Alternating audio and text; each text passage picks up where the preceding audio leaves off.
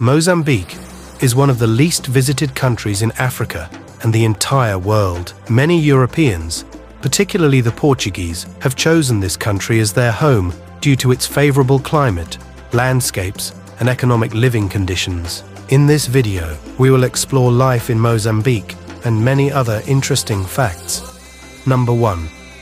One of the main tourist attractions in Mozambique is the environmental conservation areas where safaris can be taken.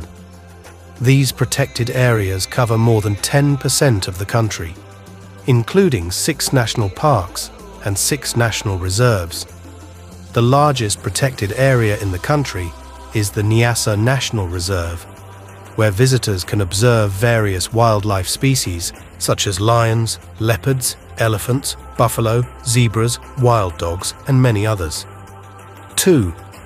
Mozambique's giraffe population. Years of civil war, habitat loss, and uncontrolled use of natural resources have led to a rapid decline in Mozambique's giraffe population. Fortunately, reintroduction efforts have been successful, with an estimated 250 South African giraffes now calling the country home. 3. Rhinos were once extinct in Mozambique due to poaching and civil war. In 2022, however, 20 white rhinos and 7 black rhinos were reintroduced from South Africa to various national parks, showing the country's commitment to conservation. Number 4. Poaching has been a persistent problem in Mozambique, with rhino horn prices ranging from $3,600 to $17,000 on the black market. To combat this, dehorning, filing down rhino horns, has been used as a preventive measure. However, horns grow back after several years, and poachers may still target rhinos for their weight. Various organizations offer volunteer programs for those who wish to help protect rhinos and other species. 6 education and healthcare in Mozambique. For families living in Mozambique, private schools are often preferred due to overcrowding and limited resources in public schools. The healthcare system in Mozambique can be inadequate, especially in urban areas. While it is better in the capital city of Maputo, having private medical insurance and seeking treatment in South Africa for serious conditions is advisable. Most doctors in Mozambique speak Portuguese and English, but some medications may be hard to find, it is important to carry medical insurance, as you might need to pay up front for treatment in case of an accident. Additionally, taking preventive medication for malaria and protecting yourself from mosquito bites is crucial. 7. With 30,000 kilometers of roads, only about 5,600 kilometers are paved and mostly located around Maputo and other urban areas. For travel outside these areas, a four-wheel drive vehicle is necessary, as smaller vehicles may not be suitable. Mozambique also has 3,100 kilometers of railways, which are used by both locals and expatriates. 8. Mozambique's rich and diverse wildlife population includes a variety of species, such as water buffaloes, elephants, wild boars, leopards, baboons, giraffes, zebras, rhinos, hippos, and crocodiles. The country's unique ecosystems provide habitats for these animals, making Mozambique a haven for wildlife enthusiasts. 9. Though the Plasmodium falciparum mosquito, which transmits malaria, is considered the deadliest animal in Mozambique, crocodile attacks also contribute to fatalities. Each year, several dozen people, mainly children and women, fall victim to crocodile attacks while bathing, fetching water, or washing clothes in rivers. 10. Mozambique is home to a variety of bird species, including flamingos, cranes, storks, herons, pelicans, ibises, and other water birds, particularly in the wetter areas of the northwest. The country's diverse landscapes provide unique habitats for both resident and migratory birds. 11.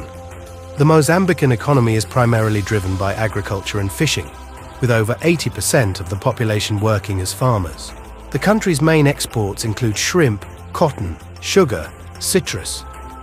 12. Mining plays a significant role in Mozambique's economy, with gold and tantalum, a metal used in electronics, being the primary resources extracted.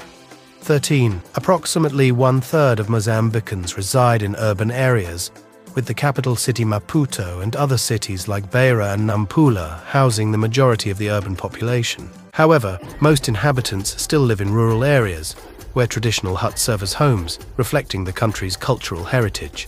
14. Mozambique is home to over 80 languages. In the northwestern parts, Swahili is predominantly spoken, while Shona is the primary regional language along the border with Zimbabwe. Tsonga, on the other hand, is primarily spoken in the southern regions. Portuguese, the official language, is taught in all schools. 15. Mozambique's extensive coastline along the Mozambique Channel provides the country with some of Africa's best natural harbours. This strategic location has enabled Mozambique to play a crucial role in the maritime economy of the Indian Ocean. Additionally, the white sandy beaches have become a major attraction for the country's burgeoning tourism industry. 16. Mozambique's complex recent history has posed challenges to its people hindering the development of a stable economy.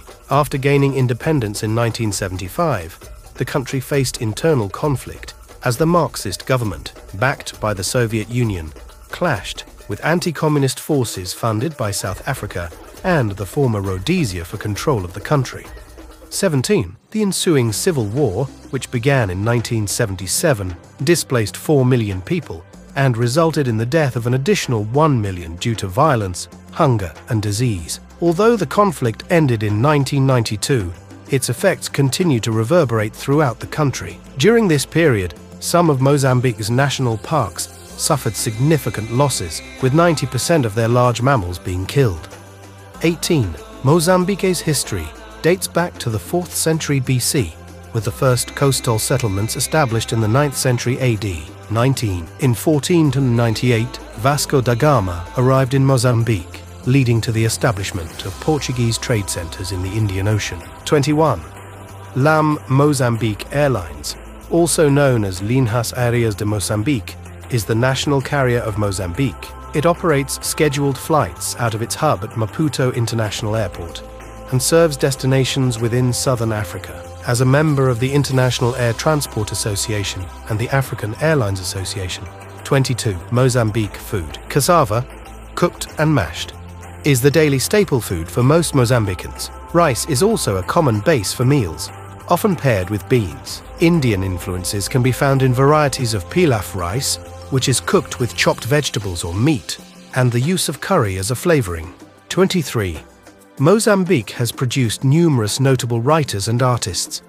Since the early 20th century, writers and journalists have published their own newspapers in Maputo, initially called O Africano, and later renamed O Brado Africano. 24. Mozambican popular music combines Western and African influences, creating a unique sound. One popular style is marrabenta, which emerged in the 1950s and continues to be performed today. The music scene in Mozambique reflects the country's diverse cultural heritage. 25.